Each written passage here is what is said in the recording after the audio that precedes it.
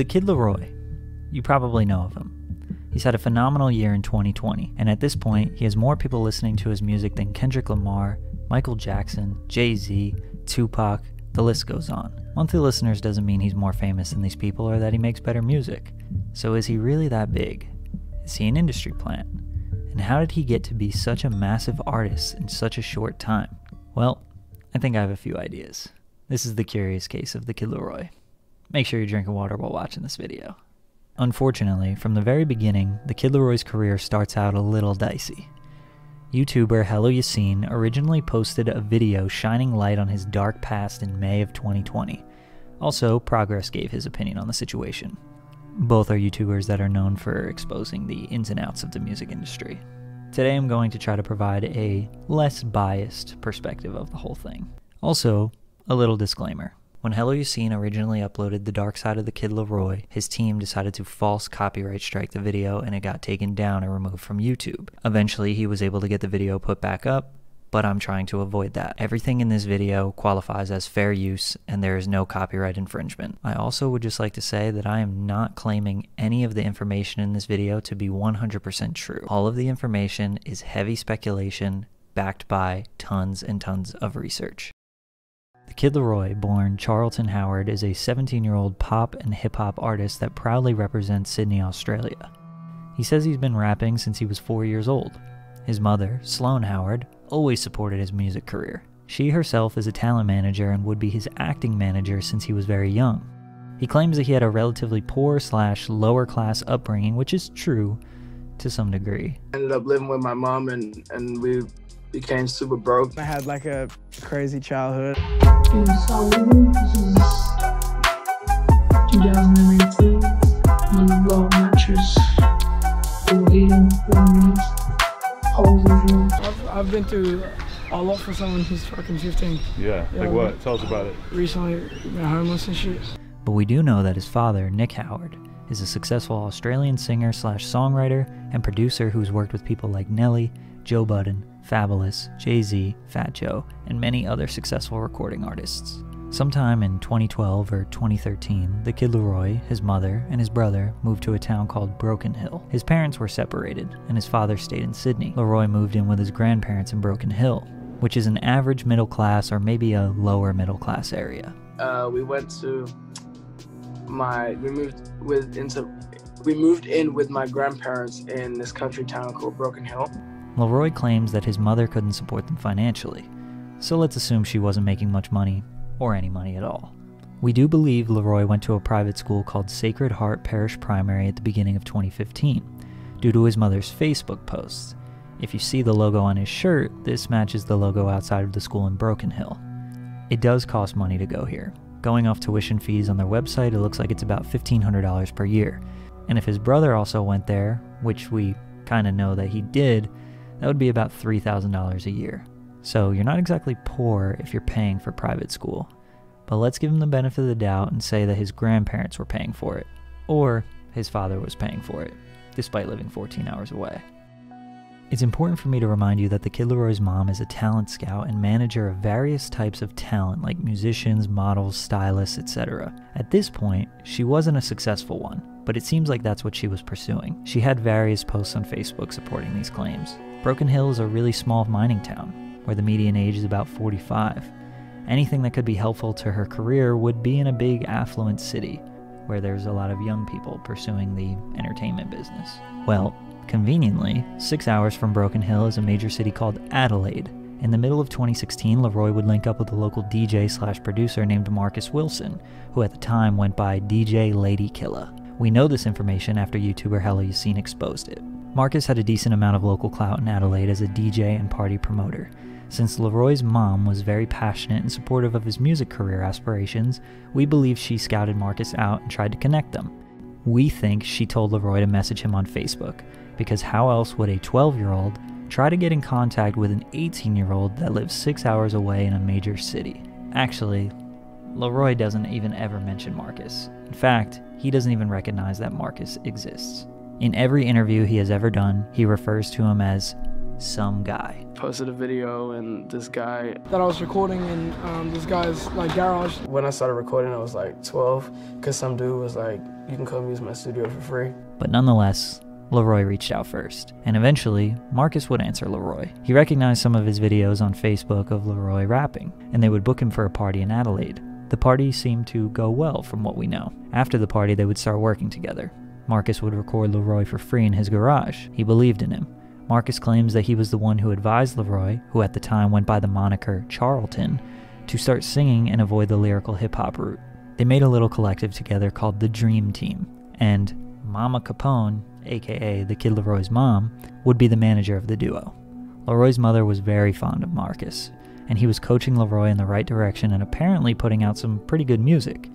She posted often on her Facebook supporting the Dream Team and their collaborations. Marcus essentially started the Kid LAROI's music career and helped him develop his sound. Pretty much all of the history of Marcus and LAROI was erased later on. This is where we can thank Hello Yassine for bringing that to light. Also, you might be wondering, how could the Kid LAROI and Marcus work together so often if they lived six hours away from each other? The only way that's possible is if Sloane drove her 12 year old son there every weekend or every other weekend and stayed in Adelaide so they could work, and then drive back to school during the week. But that's a lot of work for a poor family supporting a 12 year old's rap career. This is where we saw a lot of inconsistencies. In a XXL interview, he said he went to a boarding school in 2015 in Adelaide, but he never admits to living in Adelaide in any other interview ever. He claims he was in Broken Hill for four years and then back to Sydney. We do think that he went to school in Broken Hill on account of the shirt he's wearing in the picture, but then I started to think, where is this picture taken? That doesn't look like Broken Hill. And the caption reads, Chuck's at his orientation day for year 7 next year. So the shirt he's wearing doesn't represent the school he's going to next year.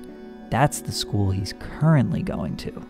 So where's the school next year? Well, I imagine this picture was taken near the school he just got out of orientation for. And on Google Maps, here we have the exact place where this picture was taken. You might notice the tree he's standing next to, or maybe this sort of crooked tree that's kind of in the background here. And maybe if you zoom in, you can see the street sign, but we're pretty much 99.9% confident this is where the picture was taken. And this picture was taken right around the corner of Sacred Heart College, Champagnat campus in Adelaide. And there's no way I said that right. And what year does this school start at? Year 7. And what year is it next year for the Kid LAROI? Oh, yeah, year 7. How convenient. So, why does this matter? Well, he never claims to have ever lived in Adelaide other than that tiny little note that we saw in the Double XL interview. So, in general, why lie about that? But more importantly, tuition for this school that he currently just got out of orientation for is $7,500 a year and $20,500 for boarding. So, how are you poor, but you can afford $28,000 for tuition for seventh grade? That's almost all of what I currently owe for going to a university. Granted, he only admits to being at the school for about six or seven months because his mother couldn't support him any longer. Then I went to boarding school for like six months. It didn't really work out. We had to move back to, to Sydney. I should preface this theory by saying LAROI claims to not have that great of a relationship with his father, which I think could be accurate. My whole life has been really in and out with my dad. But he was definitely in his life. Theory number one his father is way more well off than he admits. Here is a picture of him, his father, and his mother in 2015 when they applied to the school in Adelaide, which we can confirm that this is the high school or the main campus of Sacred Heart College in Adelaide. Two months later, he got accepted, and his dad is going to pay for the whole thing. Theory number two we came across this picture that his mother posted on her Facebook of her uncle, which, if it's her uncle, it's probably the Kid LAROI's uncle, with the caption, Uncle in his art studio in Glenelg. Where is Glenelg? Oh, five miles from the boarding school we know that he just got accepted to. So if he is poor, he gets a scholarship from his mother's lack of income and lives with his uncle for free. Plus, watch this clip of him talking about his uncle. And then my uncle, who I was very close to and my mom was very close to, and who helps my mom had a lot of stuff like that. He got uh, murdered. So after that, like a lot of a lot of stuff happened, and we just had to, yeah, we we ended up. Well, actually, that, then I went to boarding school for like six months. Now, it could definitely be a different uncle that passed, but it makes sense. Gets accepted to the school, uncle passes away, so now they have no way of supporting LAROI or a place to live because room and board was $20,000 a year, thus making him move back to Sydney. I only bring up these theories because I just can't rationalize in my head how he could live in Broken Hill and his mother would drive six hours every weekend or every other weekend just to pursue a rap career. At 12 years old, it just seems like a pipe dream. And if you're poor, you definitely don't have the time or the money to do that. So if he sticks to the story of only living in Broken Hill, he never has to mention Adelaide. He never has to mention Marcus existing as a real person. And he never has to recognize going to an expensive private school because all of those things don't fit the Kid LAROI narrative. But again, I guess it's just a theory. So everything is going well with LAROI and Marcus. We think LAROI is living in Adelaide. They're spending every weekend together, releasing music, which all of now is deleted, and most likely building a fan base online. And LAROI's mother is encouraging their growth through various, various Facebook posts. In November of 2016, six months after LAROI meets Marcus, his mother posts this on Facebook Boys see off to the big smoke to meet with the big players in the music business. So proud of you guys, going straight to the top. The big smoke is another term for Sydney, Australia, kind of like the Big Apple. Follow your dreams as you never know where they will take you. Six months since meeting, and you guys are already flying the countryside with invitations from radio and TV stations, going straight to the top. It's unclear what big industry people she was referring to, but this is where the story gets weird. And I also just want to mention that this reinforces exactly when Marcus and the kid LAROI met. He was exactly 12 years old. It was exactly May of 2016. And we know that at least we have our timeline right. LAROI claims in his No Jumper interview in 2019 that a man by the name of DJ Ziggy DM'd him on SoundCloud and he invited them to meet in Sydney and play their music on the radio. My manager now, Ziggy, um, back then he was a radio host. He hit me up on SoundCloud and he's like, yo, I fuck with you, blah, blah, blah. Let me spin one of these songs on the radio. My manager, Ziggy, he hit me up on SoundCloud when I was just making trash music.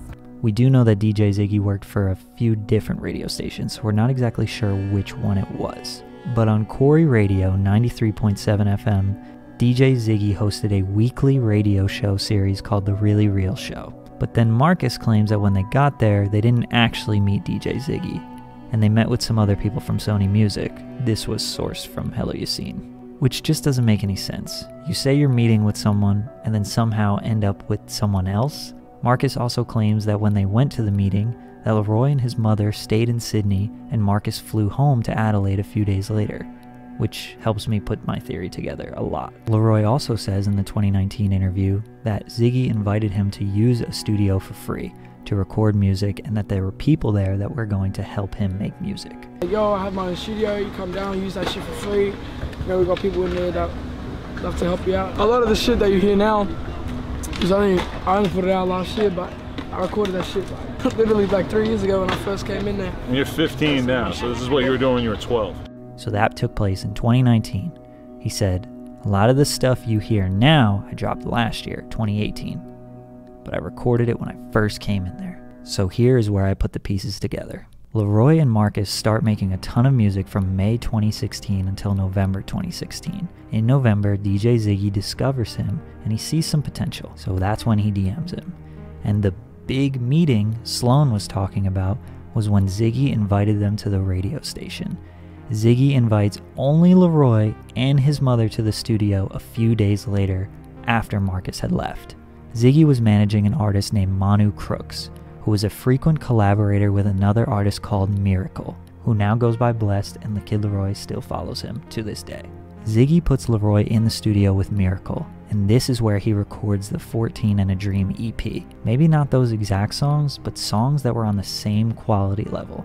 Now that he's working with a better engineer and he's in a real studio, he can make some better stuff. So after they made these songs, they see even more potential than they did before and they offer him a little deal management, publishing, record deal. I'm not quite sure, and it's pretty much impossible for me to tell. But he is 13 right now, and he can't make these decisions on his own, legally. So his mother accepts the deal because all she wants for him to, is to make it. And if we still think that they're poor, they might really need the money. They cut off Marcus because they don't need him anymore, and they move from Adelaide slash Broken Hill to Sydney.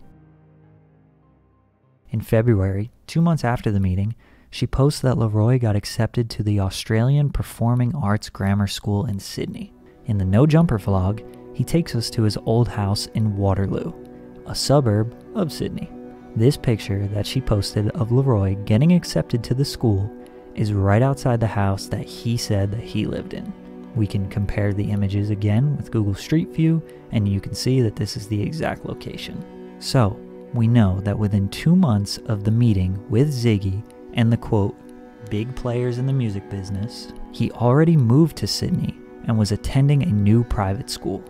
Which, again, not sure how this is happening because this school tuition is $13,000 per year to go to, along with all different types of fees. And he was living in Waterloo, which is definitely a poor area.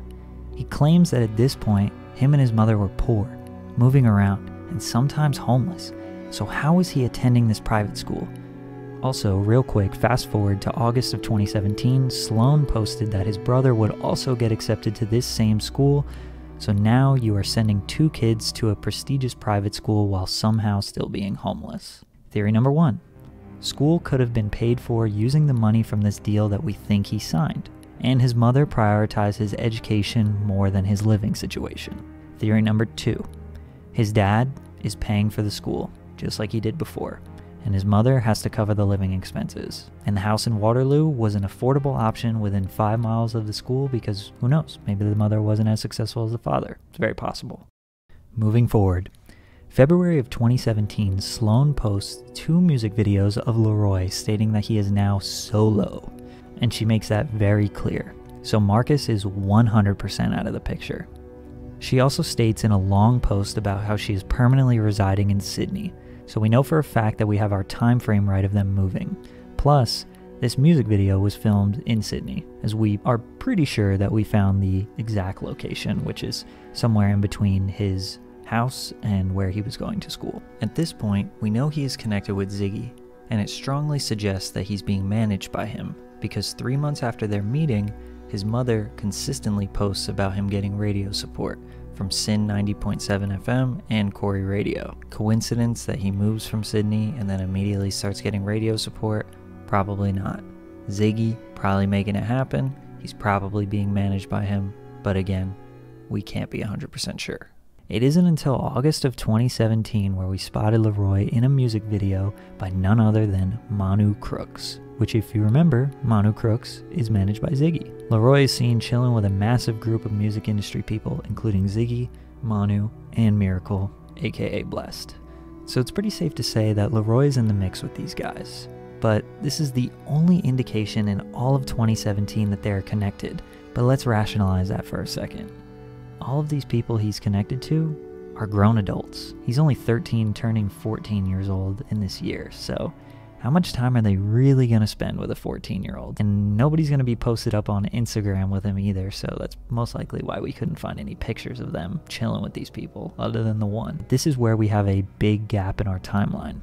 After August 2017, the only information we have on LAROI is that he was liking and commenting on some of Ziggy's Instagram posts. We don't know if he was working on music, releasing music, doing shows, or anything. The next time the Kid LAROI jumps on our radar is one full year later in August 2018 when he became a finalist in the Triple J Unearthed High School Music Competition. Triple J is a large radio station in Sydney, Australia. Triple J Unearthed is essentially a subsidiary that is dedicated to showcasing underrated talent in Australia.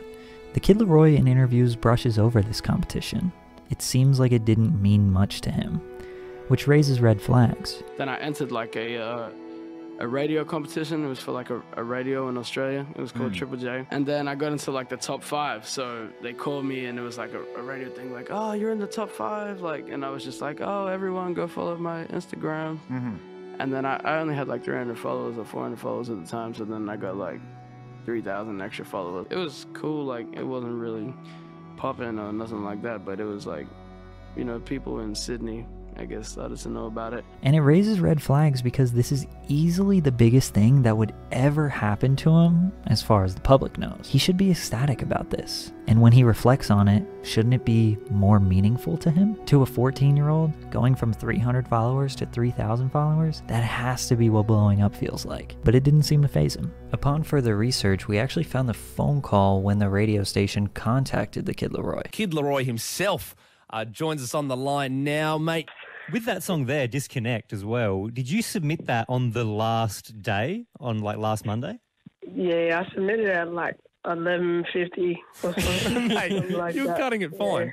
I mean, you had like basically a month to apply. Did you catch what he said there? He submitted his song at the very last minute, 10 minutes before submissions closed on the very last day, when he had a whole month to submit. And he became a finalist? Also, something small. You can listen to the full two minute conversation he had with the radio guys. He never told anyone to follow his Instagram, so I don't know why he just decided to say that. Also, I should mention that 10 days after being a finalist in the competition, he released his first EP, 14 in a Dream. And with all of this information is where I proposed my theory. Theory number one Ziggy has worked for and done a couple of DJ sets for Triple J. Also, he's been connected with various radio stations since 2016. It's possible that Ziggy set up LAROI to be a finalist in the competition without giving LAROI much detail. This is why LAROI doesn't think highly of the competition nor seems to remember much of it. And conveniently, 10 days after this competition ended, he used the buzz to promote the 14 in a Dream project. Whether the competition was rigged or not doesn't really matter much,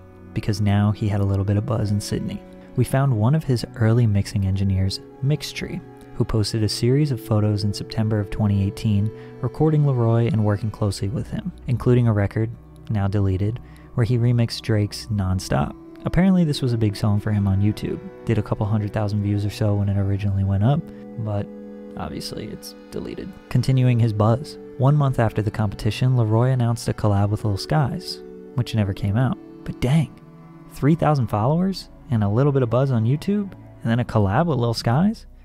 Ziggy must be doing his job. November 20th, 2018, a couple months later, Australian blog AMNPLIFY, which is a source for all things music related, announced that Juice WRLD would be coming to Australia for the first time in a couple months, and hip hop sensation The Kid LAROI will be joining Juice WRLD. Well, geez, that happened fast. But I'm just trying to figure out how LAROI got connected with Juice and his team so quickly, because there's not really one clear story from any interview, but this is what we got. Juice WRLD would hit Sydney, Australia December 30th of 2018 for the first time for the Falls Festival. Then he had two side shows from the festival January 4th and 5th, so it's likely he stayed in town for this 7 days or so. The Kid LAROI was his supporting act. Either Ziggy made it happen or it was genuinely because he was buzzing in the city. So, why not get to know your supporting act? LAROI claims that Pete, who's Juice WRLD's manager, invited him to a hotel to meet Juice WRLD, and that this was the first time they made a connection. First time we met was in the hotel room. I was with Pete, my manager, and we were talking, and then uh, he knocked on the door, and Pete's like, "Oh, go and get that." And I opened it, and it was fucking juice, and I was like, "Oh my god!" From this post on Mixtree's Instagram, we can infer that they had jumped in the studio together. We know that Juice eventually became fond of LAROI and he was like a mentor to him. So it is likely that their dynamic, as well as the music LAROI was making, inspired Pete and the Juice WRLD's team to sign LAROI. Or at least to start the conversation of signing LAROI. But that is almost definitely what happened as far as what we can piece together from interviews of what the Kid LAROI said. You can say it was industry plant ish, or maybe his dad has some sort of strings he's pulling because he's in the music industry, but to me, it just kind of looks like Juice WRLD and his team were going to Australia, so they had to look into a supporting act and someone who was buzzing in the city. So they came across the Kid LAROI, who had, you know, just generated a little bit of buzz, and they invited him to the hotel to meet him after they decided to book him. And they probably just made a really good connection. They believed in his spirit and his energy, and then that's why they tried to start pursue signing him. Any other theory that I could come up with would be way too speculative, so I think that's honestly how it happened. Three months after he met Juice and their team for the first time, it appears that he signed to Grade A, aka Lil Bibby's management label, in March of 2019. Also, in this same month, he appeared in this No Jumper vlog, but the whole vlog was essentially about him. Most people would scream industry plant, but the whole thing does seem pretty genuine. But I just find it interesting that Adam or anybody didn't even mention Juice WRLD. And at this point, he had already performed for him. He opened for him in Australia. 13 days after this vlog was filmed, he signed to Lil Bibby. There is some confidential information that I understand you wouldn't want to give to people, but not mentioning Juice WRLD at all? Adam was asking him questions about his career and his come up and this and that, and at no point did he ever say, and I got to open for Juice WRLD, or I got to meet Juice WRLD in the studio, that was crazy. Is that not the most interesting thing that's ever happened to you at this point? As far as we know, LAROI wasn't releasing any music in 2019. He would go on tour with Juice WRLD in the summer of 2019, but not performing, just traveling as his friend. At least that's what we think. We believe that once he signed in March 2019 that they just hit the ground running and started to make tons and tons of music, obviously not releasing any of it. And all of the music that we heard in 2020, we believe, was starting to be made in 2019. Being coached by Juice WRLD and lightly becoming more known by Juice's mainstream fans while being sort of in the background on social media and on the tour. But it wasn't until December of 2019 when he dropped the song Let Her Go, accompanied by a lyrical lemonade video that was the real blow up. That was when everybody became aware of who the Kid LAROI was. And I mean, obviously, that that video happened because of Bibby, but I mean, that's not that's just that's just business. It's not really like industry planish. But then all of 2020 has just been up. Diva with Lil Tecca was a huge song. Addison Rae was a huge hit, and then he also dropped his debut album, Glove. And all of 2020 has been nothing but W after W, big moment after big moment for the Kid LAROI. So immense that he has 25 million monthly listeners, and now everyone's accusing him of fake streams and being an industry plant. But I don't want to believe that the Kid LAROI is an industry plant, and I don't think that he is. But the fact that he's really unclear about his past and that he can never tell a straight and narrow story makes things look really suspicious. Why lie about Marcus? Why lie or never mention being in Adelaide? Why lie about going to nice schools and never mentioning them? Why only refer to Marcus as some guy? Marcus believed in you. He gave you your first opportunity to record, even if it was just in a broken down garage with a crappy microphone. If you had a falling out, why not just say it? I started my career with Marcus in Adelaide. He was a mentor to me. I enjoyed making music with him. He taught me a lot. I got this opportunity from Ziggy in Sydney, and I chose to take my career there. The only way I can rationalize it is maybe because his mother was making all the decisions for him since he was so young. I mean, 12 or 13, and she wanted him to be successful no matter what. And she knew that they just simply did not need Marcus to achieve that success. As far as everything that happened once Ziggy started managing him, I don't think that's him being an industry plant. I think that's just the music industry. Ziggy got him buzzing in the city no matter what strings he had to pull to do it. But it got him connected to Juice, Pete, Bibby, and the whole team. And they decided to sign him from there. So Ziggy passed on the torch to a company or a group of individuals that could turn him into a superstar. This just seems like the natural progression in the music industry. Not so much industry plant ish it really is just the beginning of the Kid LAROI story being so shaky, so unclear, and hiding so many things that makes you question the validity of everything that he's ever done after that. But that's what I think. What do you think? Well, if you're listening to me right now and you're watching this, I just want to say thank you for making it through 27 minutes or so, the longest video that I've ever uploaded. I just want to reiterate the fact that Yassine's video got taken down because the Kid LAROI's team just didn't want it. They false copyright striked it, which is illegal, and eventually he would get his video up. But in the event that that happens to me, I really need you guys to ride for me, and we got to raise hell because just because they don't want this video out there doesn't justify it being copyright stricken. So let's make sure that doesn't happen. I also just want to reiterate if I wasn't extremely clear before, I'm not saying anything what I said in this video is facts or 100% true. It's just speculation, backed by research, but really good research. and I'm pretty proud of some of the things that I kind of drew together or the puzzle pieces that I put together. But again, just really can't come on here and say that this is true no matter how true I think it might be. The Kid LAROI if you're watching, even if you don't want me to make another video, can you please clarify some things? Can you maybe jump on a call with me? At this point, I'm just curious. I don't even care about the lies, whatever. I'm just curious. I spend so much time researching a DM, maybe something. Just let me know. Maybe did I do a good job? do, do I have anything right? let me know. I don't know. Anyways, uh, if you're new, subscribe, and I hope you're drinking water while watching this video.